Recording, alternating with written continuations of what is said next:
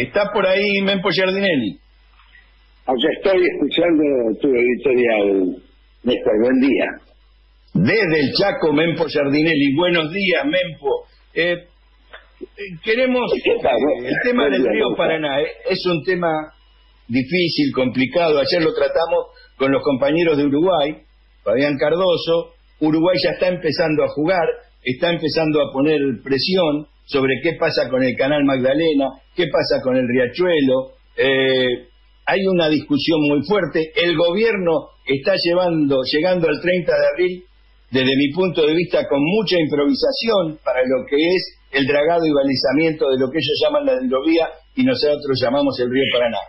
Te pregunto, en el marco de esta situación tan compleja, eh, ¿qué es lo que vos estás pensando, que estás participando de muchas discusiones con gente que conoce bien de este tema? ¿Qué es lo que habría que hacer, Mempo?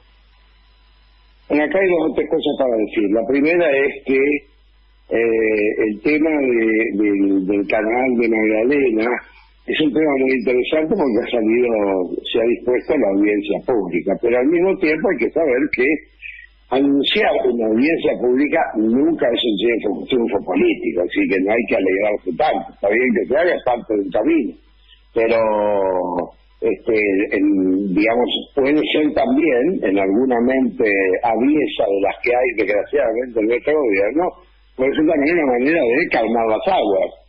Pero en realidad, con, un debate público, una audiencia pública sobre el canal, no se dio ningún paso adelante. Esto que tiene realmente tiene un significado simbólico, si se quiere, que es lo que quiere dar esos sectores del gobierno, concretamente el Ministerio de Nieve y el Ministerio de Transporte. la cosa es mucho más grave que esta, la cosa no va por ahí, la cuestión es, digamos, hay una concientización muy grande en el pueblo, en el pueblo argentino, en todos lados, nosotros lo estamos percibiendo, no solo desde el manifiesto argentino, lo vemos con muchos otros grupos de compañeros y compañeras y demás, Acá hay una concentración sobre todo a lo largo de las siete provincias de Río. Yo estoy en contacto con gente de Misiones, de Corrientes, de Santa Fe, del Torneo. Es impresionante cómo se está haciendo una docencia pública. ¿Hacia dónde va esto? Bueno, yo personalmente ayer lo, lo, manifesté en distintos medios y en distintas posibilidades, y es mi posición, y creo que la puedo decir que la posición del manifiesto argentino, es que esto no va a tener solución, no va a tener solución de acá fin por lo que vos bien acabas de decir.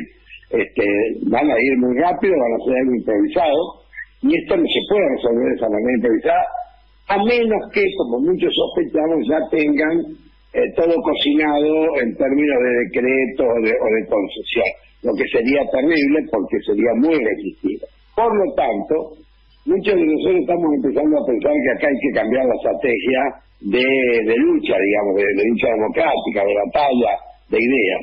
Y yo ya he salido hace varios días este, hablar de que el único camino que tiene esta solución acá es un plebiscito, es un referéndum vinculante. Yo lo había anticipado hace cuatro semanas, cinco semanas, en uno de mis artículos en página 12, cuando le dije al presidente en una de las cartas abiertas, le dije, presidente, póngase a pensar en la posibilidad de plebiscitar esta cuestión porque a lo mejor lo va a trascender a usted. Y me parece que sería lo mejor incluso para la salud, digamos, del gobierno nacional y popular del, del propio Alberto Fernández, porque él debe tener, pobrecito, debe tener un, nivel de presiones que son feroces, feroces. Ahora también del Comando Sur, toda esta visita está vinculada a lo mismo, no tengan duda. La provocación de ir a las Islas Malvinas, todo está vinculado porque orienta una sola cosa, orienta al interés de las multinacionales este, de la entente vinculada al FMI para someter y doblegar de una vez y para siempre a la República Argentina. Doblegarla en lo que más nos importa, que es toda la salida al todo lo que, es, digamos, el, el contexto fluvial marítimo que tenemos. Entonces, la única manera de contrarrestar esto, yo lo he consultado, lo estamos consultando los diversos constitucionalistas y demás, la Constitución de 1994 habilita perfectamente esto. De hecho, la convocatoria a un eh, a un referéndum vinculante es una decisión que debe ser llamada por la Cámara de Diputados.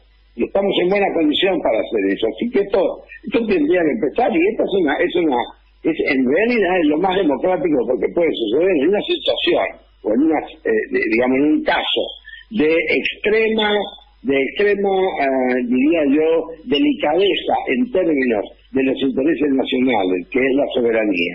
En términos de soberanía, vincula la soberanía del Paraná con la soberanía de las Malvinas y soberanía de toda la costa atlántica y del país marítimo que somos, incluso hacia las islas eh, del Atlántico Sur y la Antártida.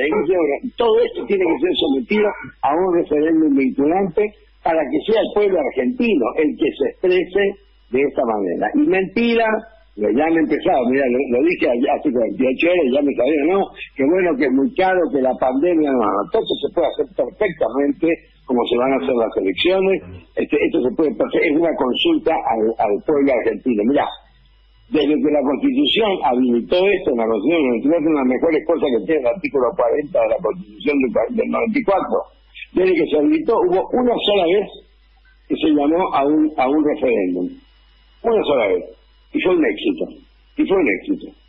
Este, y en cambio otros países como Uruguay este, eh, han tenido, por ejemplo, 14 o 15 referéndum este, vinculantes para tomar las grandes decisiones que, bueno, que el, pueblo uruguayo las, toma como le parece. Yo creo que este es el camino más aún a riesgo incluso de que podamos perder lo que pensamos de esta manera. Pero eso es lo más democrático que hay, es consultar a la sociedad.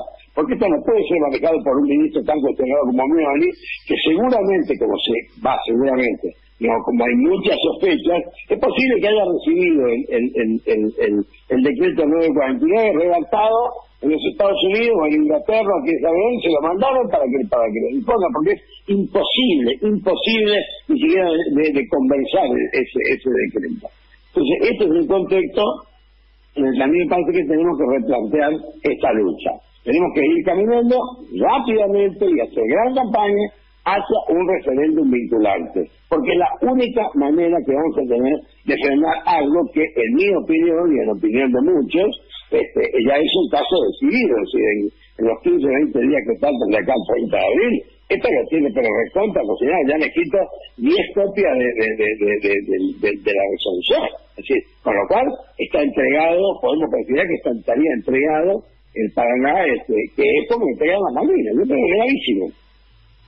No, creo que en ese punto es muy importante, justamente cuando vos planteaste este tema de soberanía, comparado con el tema de Malvinas, lo del canal de Suez también sirvió para demostrar la discusión que se abre cuando hay una vía tan importante como el Paraná, pero además el Paraná, las dos orillas son Argentina, digo, acá lo que estamos defendiendo es un río que está internacionalizado, el 80% de la producción de Argentina se va por el río Paraná.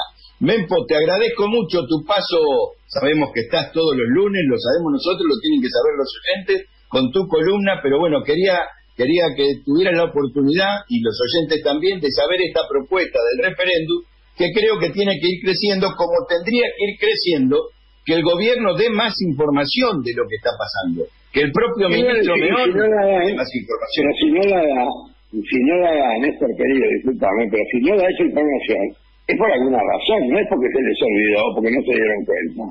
Y esa razón es parte de lo que nos hace pensar a muchos que estamos frente a un hecho cocinado. Y esto es inadmisible. Entonces, frente a eso, hay que decir, ¿sabe qué? Consúltese al pueblo, que es la única manera de garantizar que la decisión que se tome va a ser la decisión correcta. Y si el pueblo quiere que sea un bien internacional, bueno, el pueblo será y, y, y, y los que no estamos acá nos aguantaremos. Pero hay que ir un referéndum vinculante. Así es. Mempo, desde el Chaco, muchísimas gracias. Y Un abrazo grande, la voy a salir por arriba. Un abrazo. Gracias, gracias Néstor, buen día.